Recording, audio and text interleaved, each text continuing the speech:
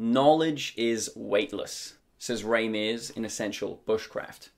Now, this book was really useful to me when I decided to cycle the length of the UK, which was a great big adventure for me. But I needed to prep before I left. Now, you might not know me, I'm Connor, hey, from Debutify. I make marketing videos, e commerce videos, I like to ride my bike, and I like to read books.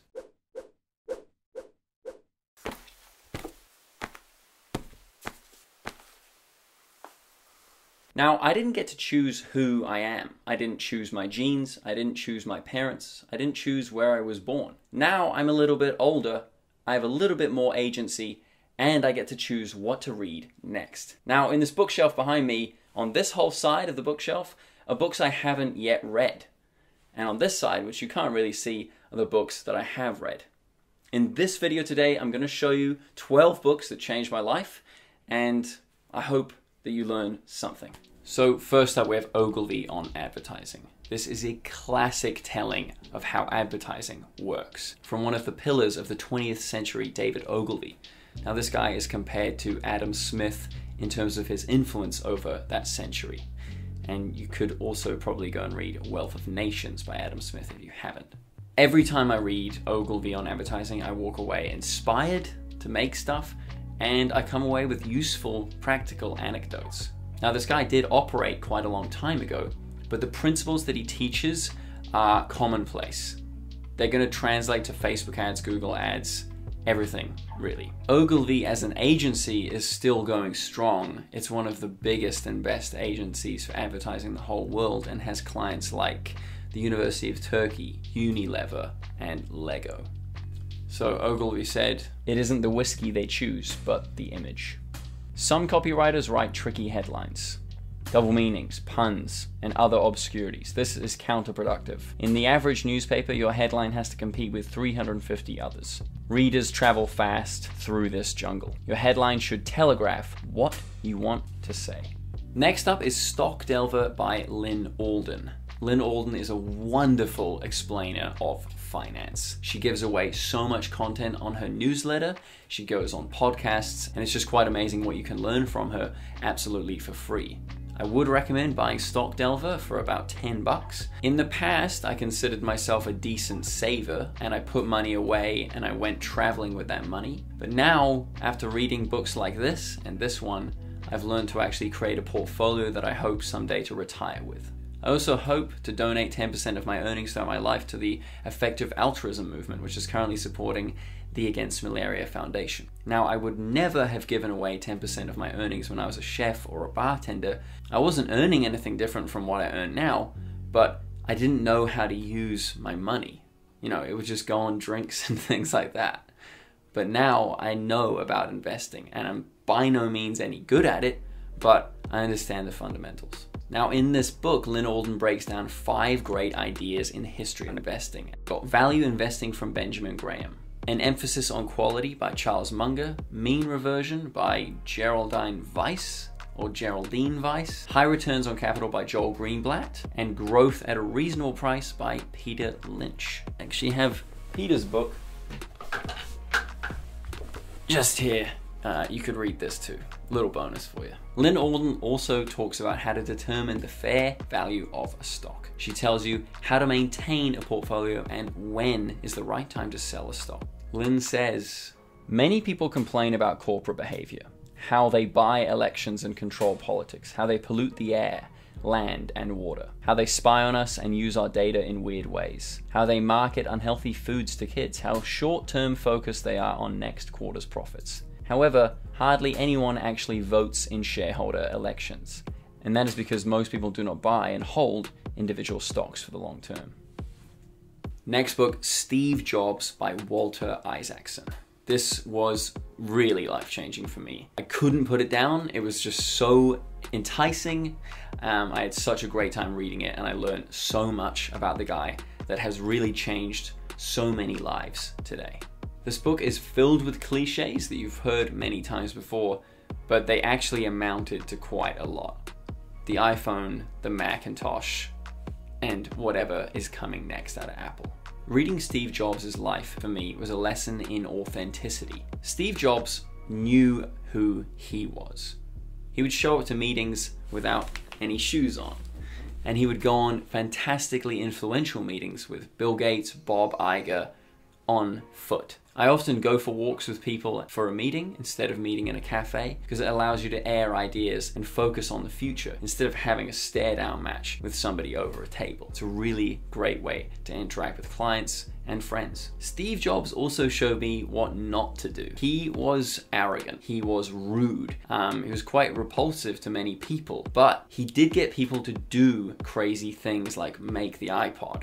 So you can read this book and understand what not to do in life because you can get great things done, but at the detriment to your relationships. And understanding a work or project life balance is really important. Now, in this vein, we see Steve Jobs' reality distortion field that's discussed quite a lot in the book. He would come up to a developer, demand something outrageous, and she would say, Yeah, yeah, I can do that, yeah. And then when Steve would leave the room, she would think, There's no way I can actually do that. That's an impossible request. But then she would go on to do it because Steve had said she could do it. That theme is present in the book so many times, and there's so many different examples of it coming up. It's kind of crazy. Maybe it was his charisma, maybe it was his arrogance, but it pushed people to make amazing software and amazing products. Now, the biography is unbiased. We see Steve Jobs in horrible lights, doing not very nice things, and we see Steve Jobs in courageous, brilliant light as well. Now, I think this is really important in our own time. Things like social media show us the perfect lives of people around us, only the ups and never the downs. And when we feel sad, when we feel defeated, we have no one to turn to because we're constantly shown through social media that everybody else is okay. We don't see the mental tax, we don't see the stress on everybody else's lives. So when we have our own stresses, it's really difficult to deal with. So it's nice to read something that's completely truthful and shows you just how difficult life can be. Remembering that you are going to die is the best way I know to avoid the trap of thinking you have something to lose. You are already naked. There is no reason not to follow your heart. The best way to predict your future is to invent it. Of Walking on Ice by Werner Herzog.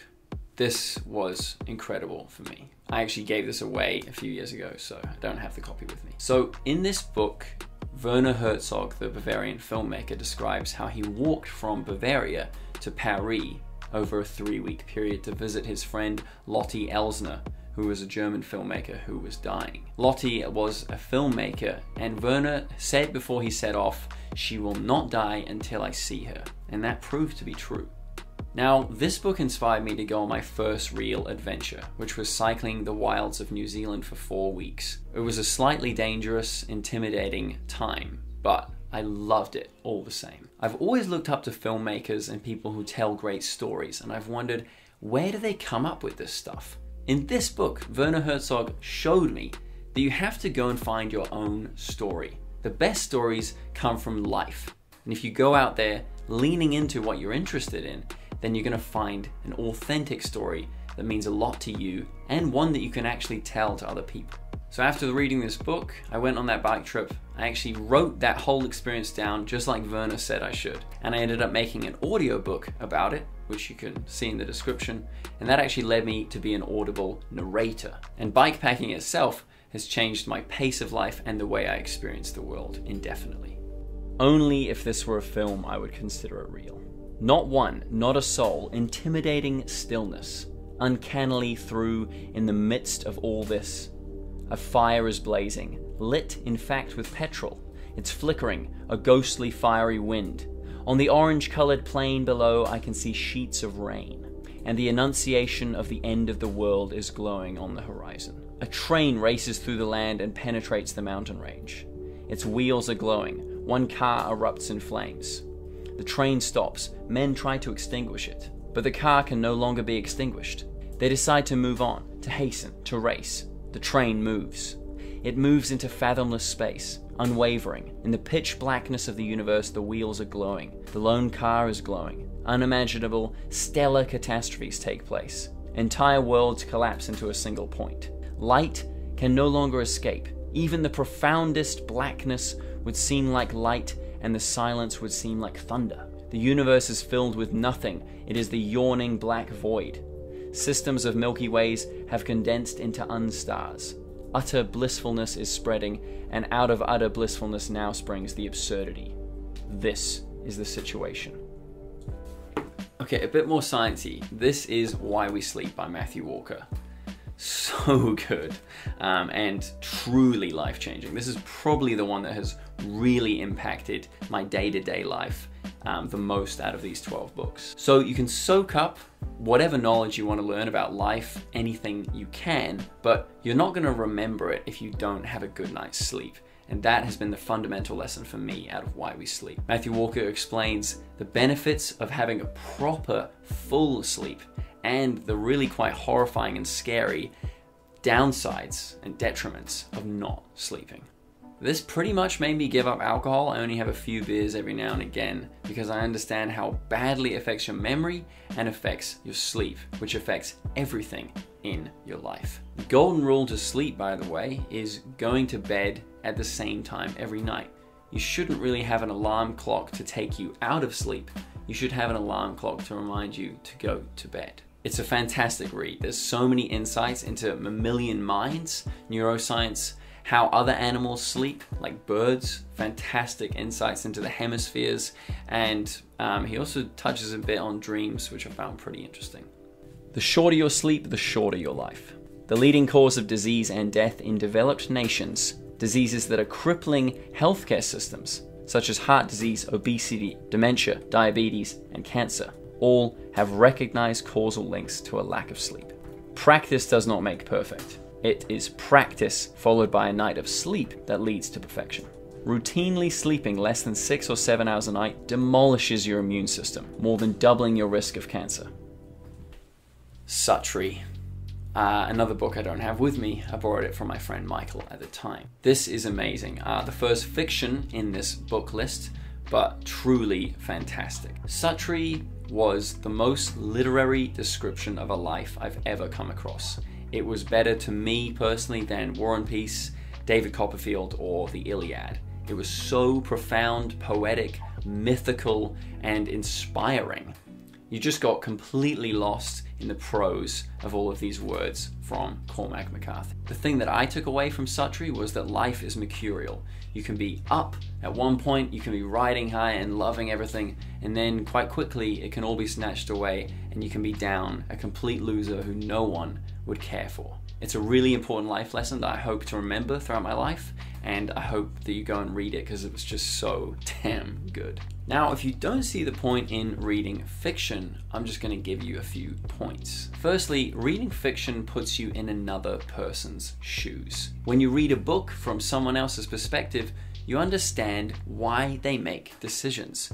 And this helps you form a theory of mind, which is just an assessment of empathy from one person to another. Now, you're going to need a theory of mind and a lot of empathy if you're going to want to accomplish anything in this life. Secondly, reading fiction is a stress relief for humans. You should check out this New Yorker article below. It reports that regular readers sleep better, have lower cortisol levels, higher self esteem, and lower rates of depression than non readers. If you read any book, by the way, fiction or non fiction, you will have an increased memory capability. You can check out this study in the description, and while you're down there, you could subscribe if you want to see more from Debutify. There's lots of benefits to reading fiction and non-fiction, but I thought this one was a good point. Um, reading improves your vocabulary. And if you want to get any project done in life, you have to learn how to communicate with people. But there are no absolutes in human misery, and things can always get worse. Remember her hair in the morning before it was pinned black, rampant, savage with loveliness, as if she slept in perpetual storm. Okay, and the next book we have is Why I Write by George Orwell. This is a great book. Really helped me understand why he writes. nah, it really uh, it made me look at language in such a different way. After reading this book, I just poured myself, my attention that is, into words specifically. You'll notice that a lot of people will add an adjective. This is a pet peeve of Orwell.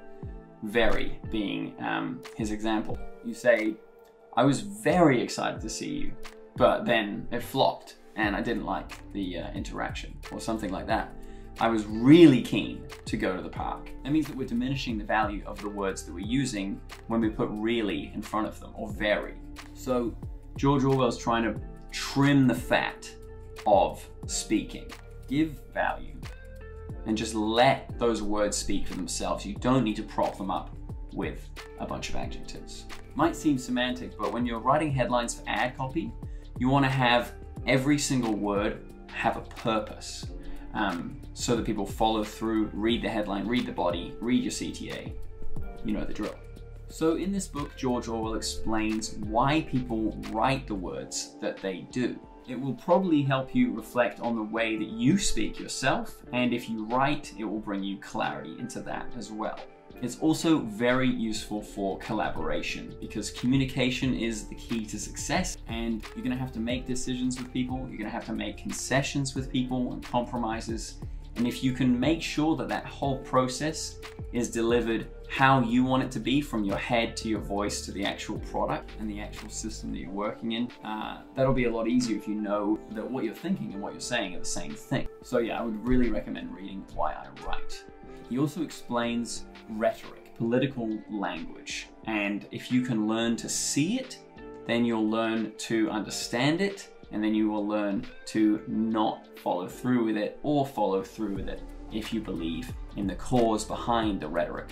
But it's really important to recognize rhetoric from our leaders, not just in politics, but in corporations as well. We can make our own minds up and not get swayed by fancy language that makes us make decisions without us really wanting to. Rhetoric has been used for centuries and millennia, actually, to inspire people to go to a war. Great examples of Roman emperors using rhetoric to inspire people to die for their country when the emperors just sit at home and eat grapes and the young people have to go and kill themselves. So, yeah, understanding rhetoric is really important and understanding how to use your words is really important. So, that's why I recommend Why I Write. Never use a metaphor, simile, or other figures of speech which you are used to seeing in print.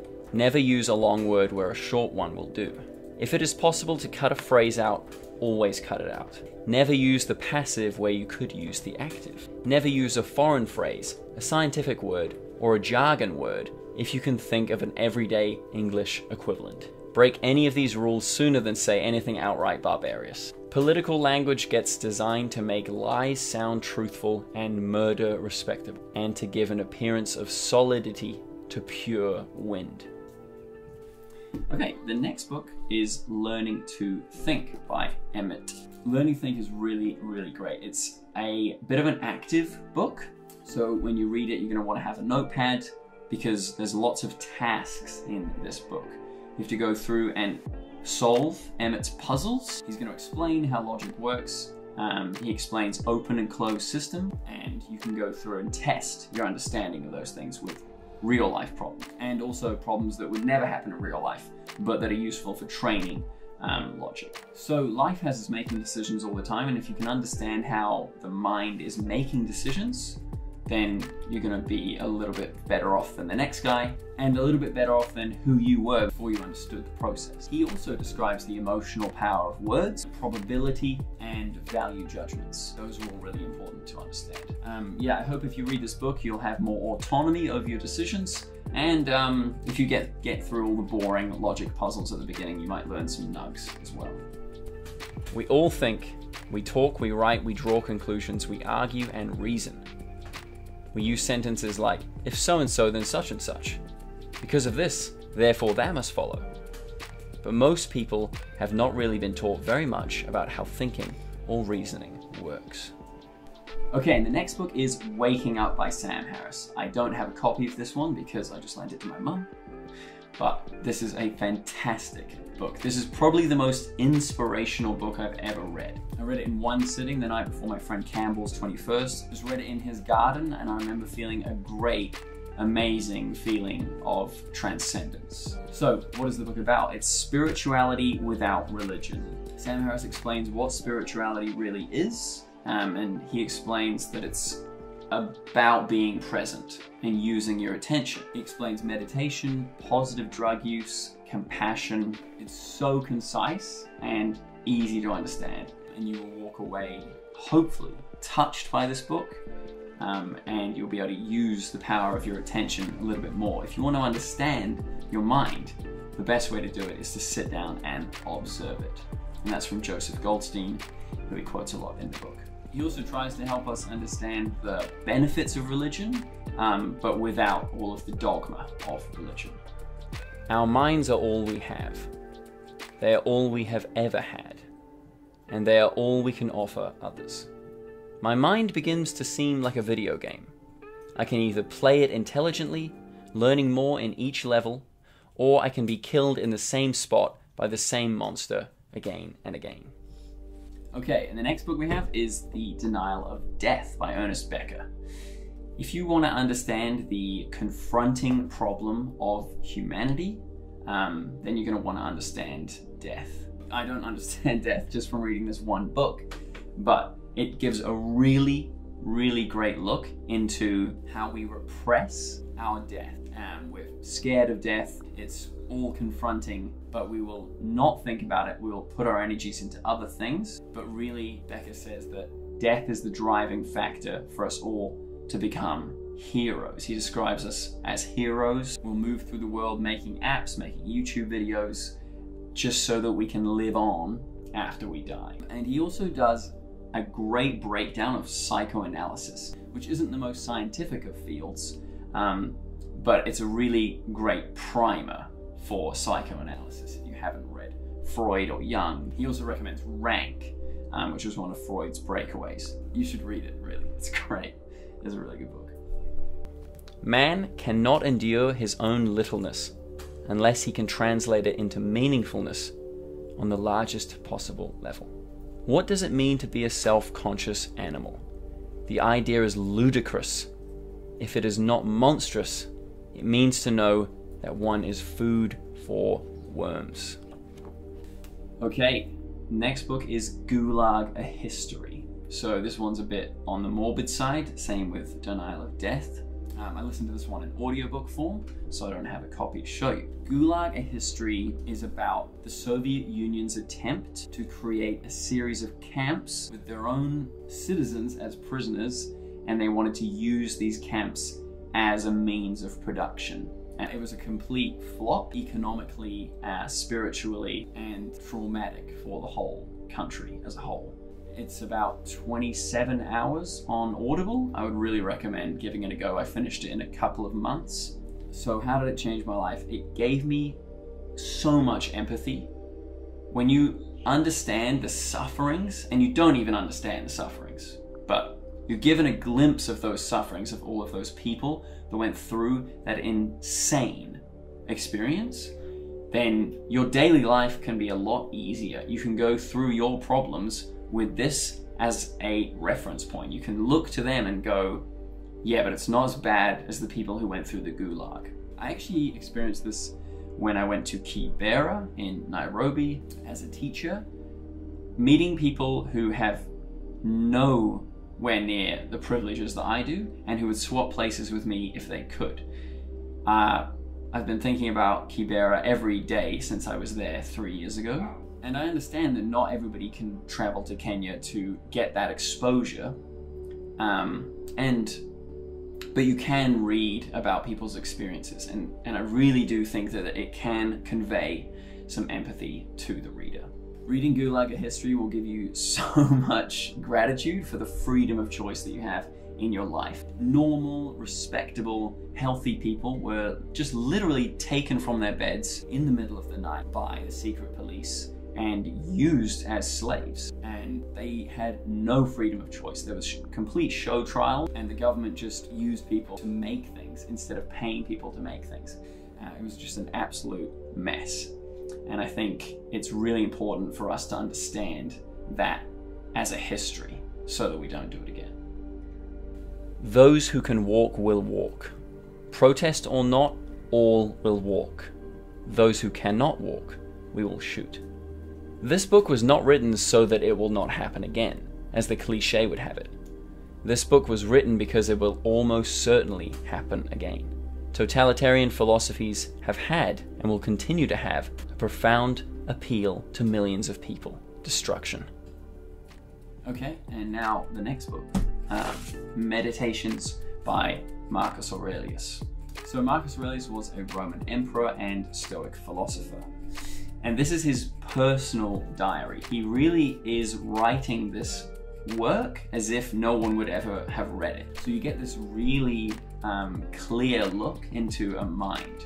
And I think I have started writing a lot more um, in my personal journal after I read Marcus Aurelius' Meditations. It's a really bare bones look at life. It's probably the most stoic of all of the stoic philosophers. Um, and when you look at it, it's just so bleak. Um, but it's filled with so much gratitude in that bleak lens. Um, there's one passage actually that I wanted to read you. The wind scatters one year's leaves on the ground. So it is with the generations of men. Yeah, so powerful.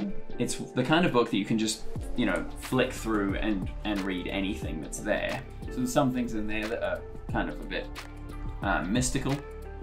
Prayers, do they work? I probably don't think so. But there is so much in there that's applicable to the daily life. The book is said to have a profound impact on the creation of Christianity, on the writings of Immanuel Kant, and on Hegel. So, yeah, I'd definitely give it a go. You have power over your mind, not outside events. Realize this, and you will have strength. Never let the future disturb you.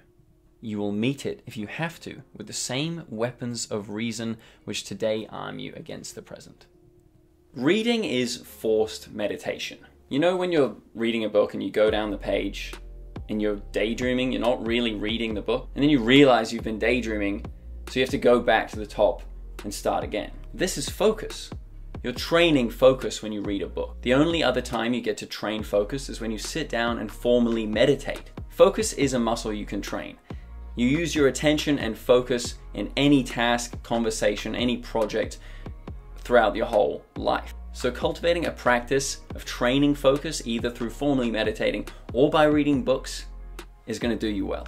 So, make the most of meditating while reading books. And that way, you'll be able to actually take in the information that they're trying to tell you.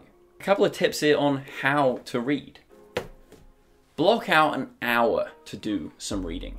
Me personally, when I sit down to read, I'm a little bit fidgety. I'm like, oh, I could be cooking, I could be eating. Am I gonna read this book or shall I read those articles on my massive tabs list? But after a few minutes, 10, 15, I'm actually absorbed in the book and I start to really take in the information. The added benefit of reading for an hour is that you get to read for an hour. And if you read an hour a day, four times a week, then you're gonna churn through lots of different books. And that really is the goal. Knowledge is power.